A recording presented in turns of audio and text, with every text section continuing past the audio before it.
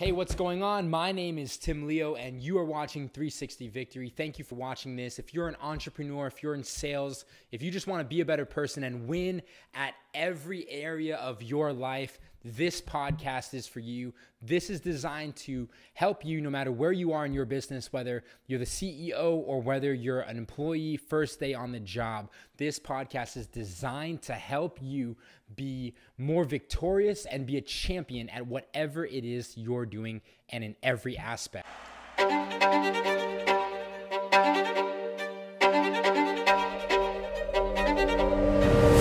It's really important that will help you grow your business. Now, today is I'm going to make it really short. Uh, it's kind of been a, a, while since I've been on the podcast.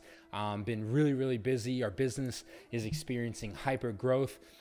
We are building a billion dollar company in the fintech space. And unlike other gurus and internet people out there, I'm going to show you the exact step by step framework, work, mindset, procedures, uh, tricks, tactics, everything that I can, strategies, everything that I can to help you win as an entrepreneur. I'm going to show you how we are building a billion dollar company today here in 2019.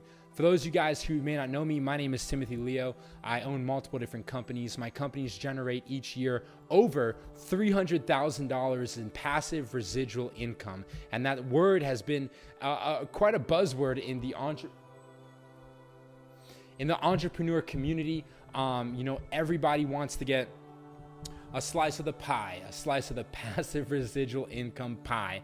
And so, whether you're in real estate, um, whether you're in multi level marketing, network marketing, direct sales, business to business, whatever it is. Um, the, the goal of all of my partners is to be 100% financially free. So if that's you and that's what you're after, thank you for watching.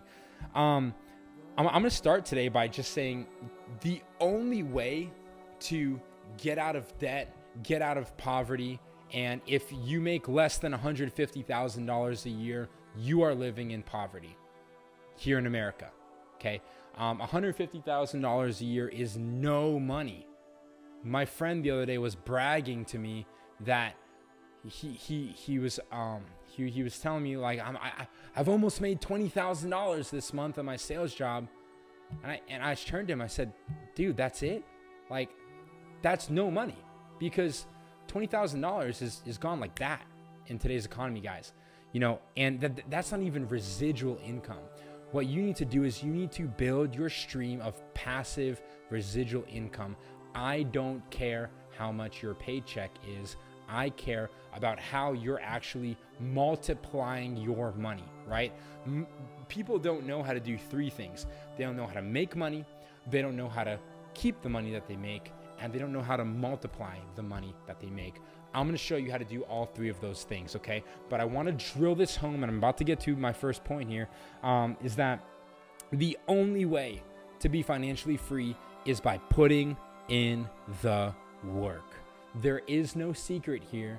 There is no talent. I am not more talented than you. Me and you watching this video have the same chemicals. If you live in America, we have the same opportunity. And the only reason why I am where I am and the only reason why I've done what I've done is because I put in the work. Right now, it is 10:45 p.m. I started my day today at 3 o'clock a.m. Don't believe me? Watch my vlog. Okay. The reason why I'm, I'm doing this vlog is to show you, literally show you how to take your net worth from being zero, less than zero, okay, less than zero to over a hundred million dollars, okay, or you know, and more. Um, 3 a.m. to 10:30 p.m. That's like 19 hours of work, okay? If you are not putting in the work, you are going to be crushed by people like me. And the reason why I win when facing other people that put in mediocre work is because I simply want it more than you, period. um, I think that immigrants in this country have a great advantage because we understand like where we came from. Guys, listen to me and listen closely. My mom would walk from her home in the Philippines with no electricity in a hut. She would walk 11 miles up and down the hills and the little valleys of the Philippines to school every single day. 11 miles per day. That's a half marathon every day, guys. And the people in my mom's village in the Philippines would um, be so proud of her because they would look at her and they would say, "Oh, Evelyn, we saw your your kerosene lamp. They had kerosene lamps. For uh, many of you guys don't know what it is. It looks like this: uh, a kerosene lamp. We saw your lamp burning um, past midnight. We saw your lamp burning all night. Why? Because she was studying um, the things that she she had to study um, growing up in the Philippines. Because she knew that the only way out is by putting in the work. Guys, the only way out of your financial situation, where you are right now in your life, wherever you are, and if you're content, by the way, that's the worst place to be. But the only way out is by putting in the work. My mom uh, went to. Let me take this off here. My mom went to the University of the Philippines, UP Manila. Um, only the top, I think, only top 2% or 1% of high school graduates in the whole country go there. It's the Harvard of the Philippines. She had a double major with a minor um, there because she put in the work. Guys, you might look at me right now and say, oh, yeah, good good job, Tim. You worked 19 hours, 20 hours today. Cool. You guys understand, like like my mom, when we were, uh, she put four kids through private Christian school in Florida, one of the top um, schools um, in in South Florida, and um, there, there were some weeks where she would work over 110 hours in one week because she put in the work. What are you doing to drive your business forward and you know um as an as an immigrant and as someone that has come to this country america from um another country i can just tell you right now there's a lot of things swirling around in our political system. There's a lot of things swirling around in Washington, in Congress, and I'm not here to talk about that. I'm not a very, I'm not a very political person, to be honest with you. Um, there's a lot of things swirling around. If you do not understand that America has the greatest opportunity. It is a place, a country, the economic system is set up here so that anyone, anyone, anyone, anyone, anyone can go from being broke to being worth millions of dollars, okay?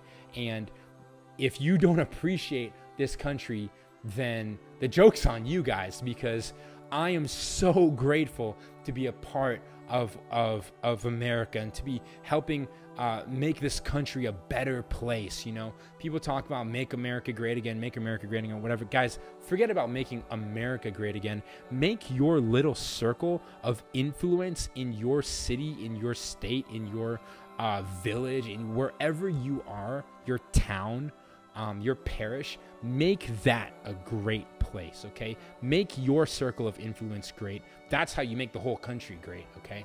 Um, if we all do our part. Now, um, going back to putting in the work, okay? Woke up at 3 a.m., drove four hours to an appointment, got no showed at the appointment four and a half hours away, waited for the appointment to show up, did work in the car, called all my partners, um, had morning meetings in the car. Um, and when I got to my appointment, the person that I had a meeting there with was very like standoffish and kind of put offish and almost combative. Combative. Is that a word? Combative? Combative. Be- belligerent, kind of. Arguing, bickering with me, going back and forth. And I was like, man, what am I going to do? I, I drove I drove four and a half hours, woke up at 3 a.m. It's 8:45. What am I going to do right now to make this million dollar deal work? Okay. here's what I did. Number one, um, I remembered my mom and the sacrifice that she put in walking. Ele- listen, I, I didn't walk no 11 miles. Okay, I sat in a nice, comfortable car in a German engineered sports car, drove my happy self there, air conditioned, protein drinks, coffee, uh, watching, you know, uh, you know, stuff on, on, on YouTube, Cardone University. Um, I remembered where I came from.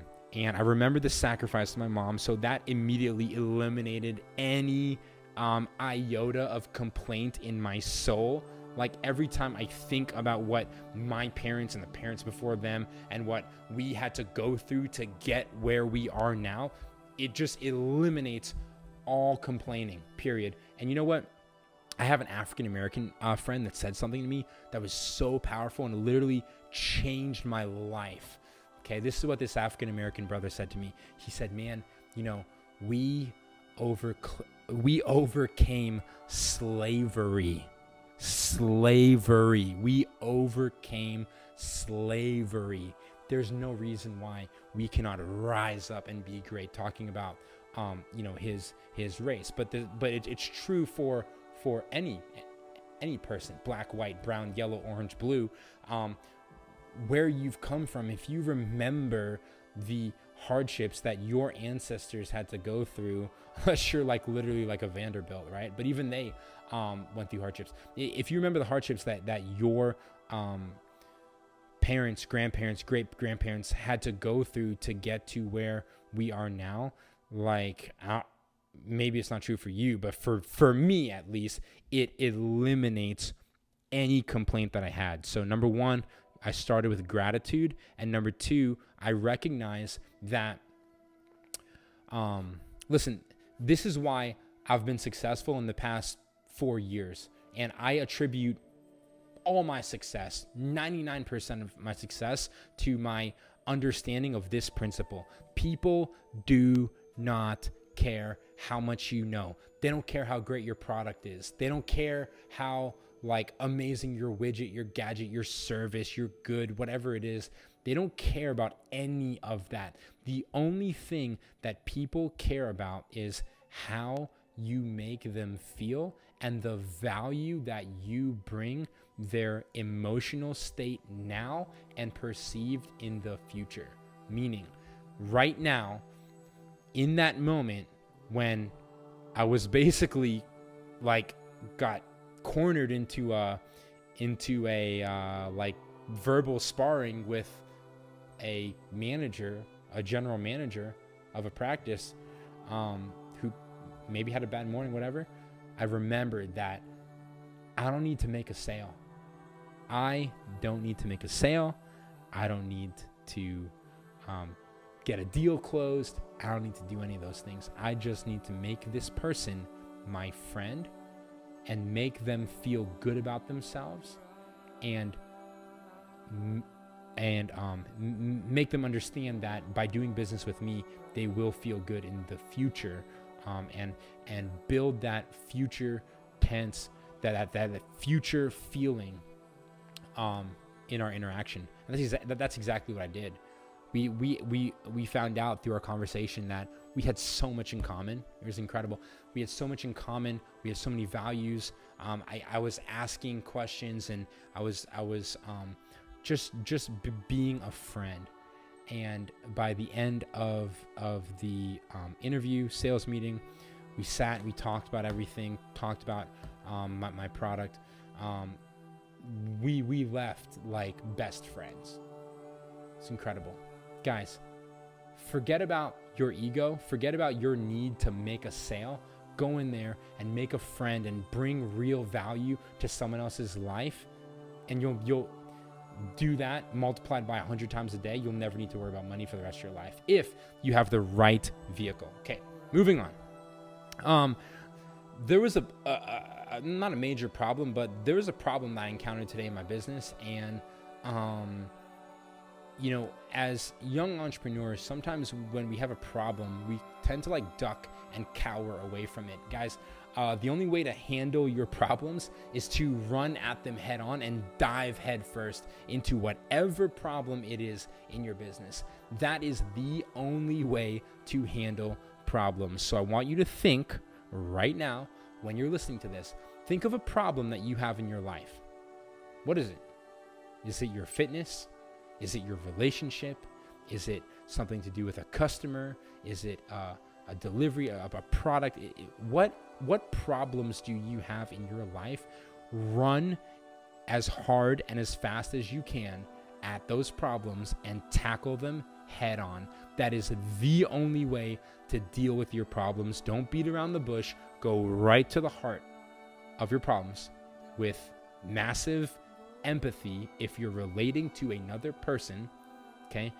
Or if you're if if you're just um dealing it dealing with it on your own, like take your take your self-awareness and deploy self-awareness against your problem and run at it, take it on head on and knock it out.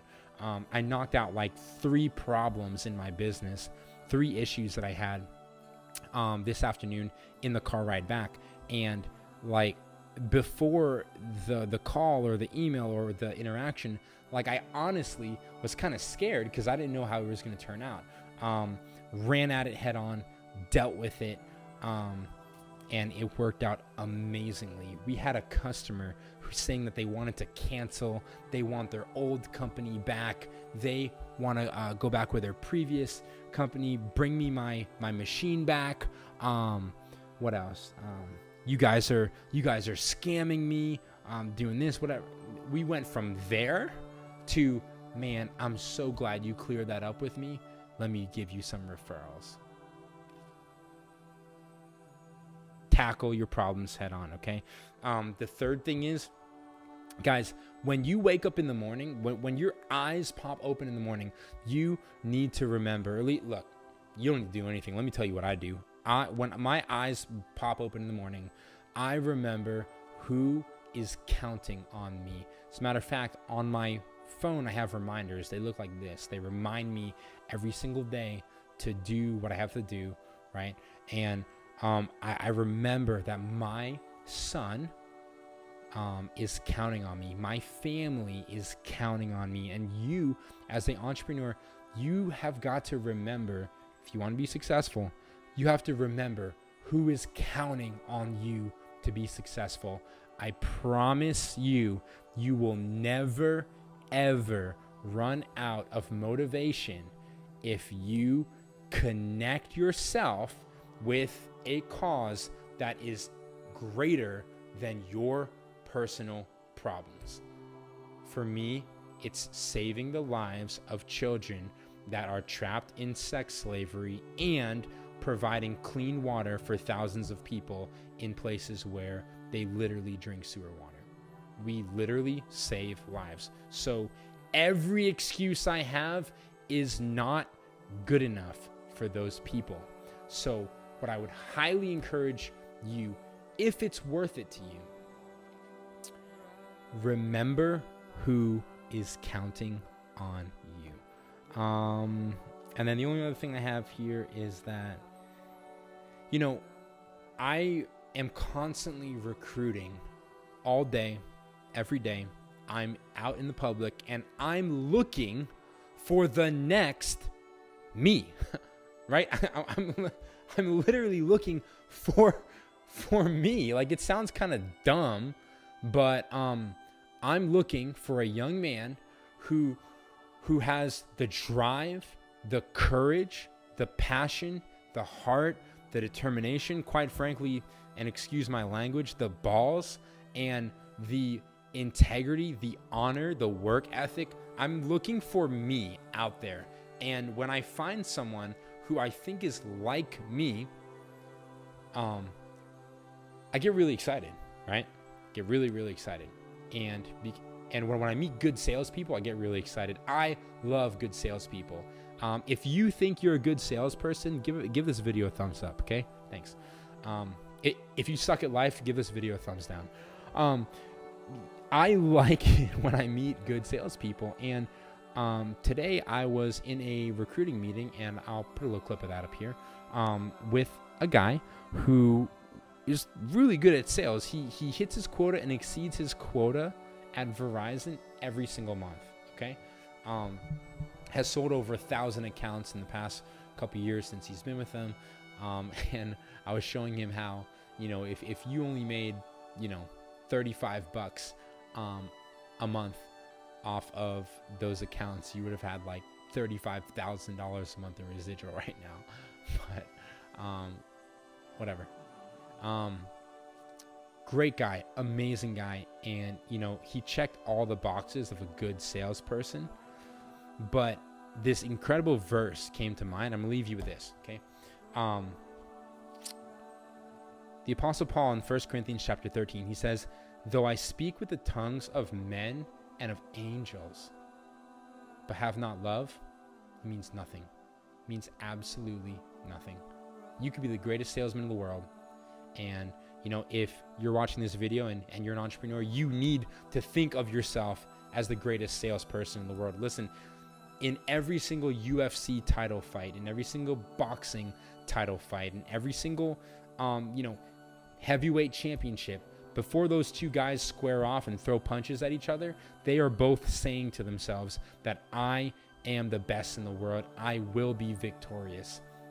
And you have to believe that as an entrepreneur. The reason why this podcast is called 360 Victory is because I believe that I'm going to continue to win at everything I do. And you have to believe that as well. Um, and no matter how great of a salesperson you think you are, none of it matters. Nothing matters. It profits you nothing. It is garbage unless you have love. It's crazy, right? It's weird. Like, we don't really think that. And, like, you're probably thinking, Tim, don't go on this, like, hippie, like, you know, sit around a circle, sing kumbaya. Like, no, like, we, as I was talking today, like, I really understood it in a deeper way that all this stuff I'm doing in business, all of this, everything I do, my legacy will mean nothing if I'm not doing it out of the right motive, out of love, right? So, love is truth, transparency, honesty. Love is not lying, cheating, stealing, taking advantage of people just because they don't know what you know. It's doing business fairly. It's doing business with respect not only to yourself but to your consumer. It's standing up for what's right. It's calling the right things right and the wrong things wrong. That is love. And that is a legacy. And the reason why closing with this the reason why I'm on this podcast today is to hopefully inspire you guys to number one, put in the work, get financially free. It's amazing. It'll change your life and you'll be able to change the lives of thousands of people. Um, hopefully, you'll be able to change the lives of, of you know, thousands of people around the globe. But even if you never change the life of thousands of people, um, I hope you change your life. And I hope that in every aspect of your life, you start to experience more victory through the principles that I'm outlaying here for you. Okay. So putting in the work. Um, I hope none of you guys duck and run like cowards from your problems, but I hope that all of you tackle your problems head on. And most of the time, it's going to mean very hard, tough conversations. Learn how to have tough conversations out of love. That is legacy. Legacy can basically be equated to how many people are benefiting from your existence through the love and empathy and kindness that you've deployed to them. Okay. Um, sales is not having the best product, service, or good. It's building relationships and building friendships. And remember, who is counting on you. So tonight, when you lay in bed, think about that. Who is counting on you to succeed and to win? Let's win together. Bye.